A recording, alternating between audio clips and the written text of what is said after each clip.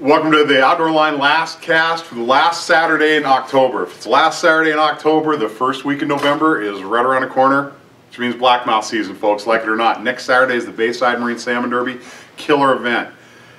One technique you need to keep in your pocket for blackmouth fishing is the use of plugs.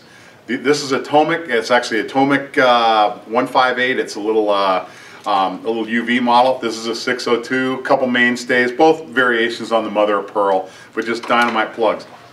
A plug does something that no other piece of trolling gear does in your box, and that's float. And we're going to use that to our advantage by the way we're going to rig this thing up. Okay, we're going to go straight to the braid uh, on the plug, and we want the plug to be towed in a very specific location on the wire pin, okay? And we're gonna show you just how to do that. Now, now right off the bat though, a lot of people are thinking, okay, if we're running braid right straight to the plug, are we gonna have a problem with our pinch style releases? And no, you're not, and here's why. The problems with braid and pinch style releases in a, in a trolling scenario off of downriggers happens when you're fishing flasher gear that has a lot of drag. These plugs have absolutely no drag. Plus, we're going to be using very light, this is actually 30 pound test Daiwa Samurai braid. Very, very light, but it's all you need to do this. Okay, so when you first get a Tomic plug, it's going to have a tow ring in it, right? First thing I do is I'll usually tie to that tow ring and see how it behaves in the water. Sometimes they'll fish with them. Generally though, I cut that tow ring off so I can tie right to the tow bar. Okay, very important. So, if we're tying our plug right to the tow bar. First, we need to make sure that our knot is going to stay in a very specific location.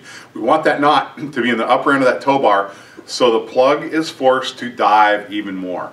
Again, plugs float, so when we change speeds, we turn, okay, it's going to be working up and down through the water column, and that is the plug's advantage, because we're going to have that plug 50 feet or more behind our pinch style release, okay? So how do we get that knot to stay in that one specific location?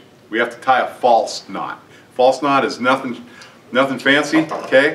Basically all we're doing here is we're, is we're taking, we're taking some 20, 25, 30 pound test, okay? Okay, and then I'm just gonna tie a cinch knot and, and, and leave it on there, but I'm gonna trim both ends tight. So it's, it's a knot, but it doesn't have anything going to it. So basically, two, three, four, we'll go through, all right, and back through, and pull that thing just tight as tight can be. Okay, now we're going to take our handy dandy clippers, snip the, snip the tag end off, snip the business end off. That's all. So all we have on there is just a simple knot. But since we used a double cinch knot, that knot doesn't want to move very much at all. I mean, we can push on it. You can see how hard I can push on this knot with this, with, with this clipper and, and the knot is not moving, right? Okay, so I got to really force it to move it. So that's going to be your stopper. That's going to keep your braid exactly where you want because again, we're tying braid right directly to that tow bar. Okay, now, so we need to sacrifice just a little bit of our braid to, to accomplish what we need to do with this knot. And again, we're going to tie with a double thickness. I feel a lot better about this knot. It's going to last a long time because you're using a double thickness to a piece of metal. Anytime you're tying directly to metal, this is a great knot to use with braid, okay?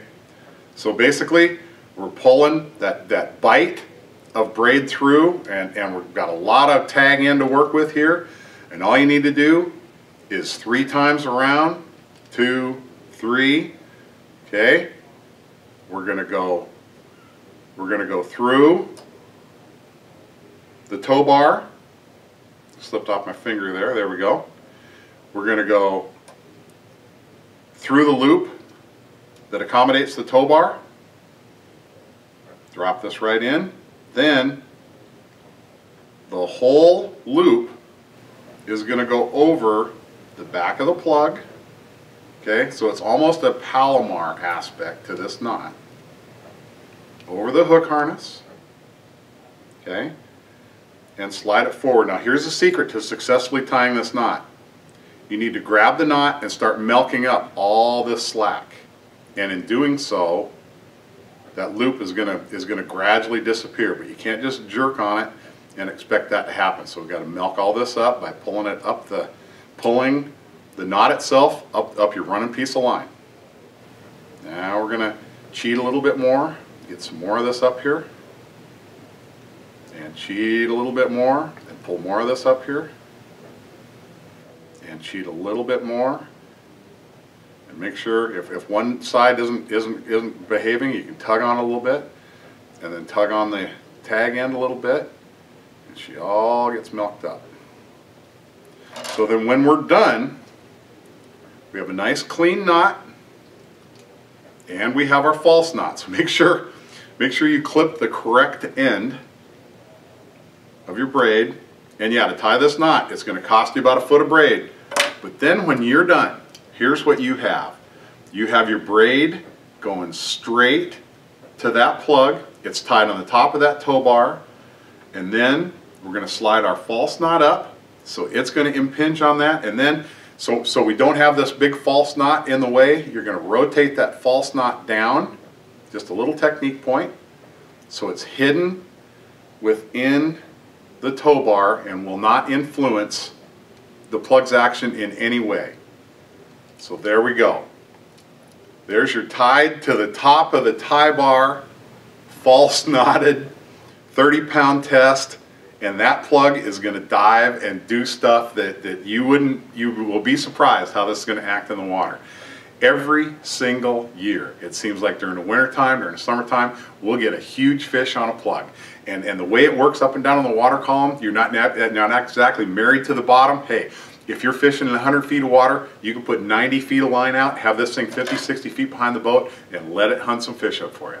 That's another dirty downrigger trick here from, uh, from the gang at the Outdoor Line. Hope to put her to good use and jump on our forums and put a report up on our fish report board when, uh, when you get a big, big Chinook on this plug trick. See you next week.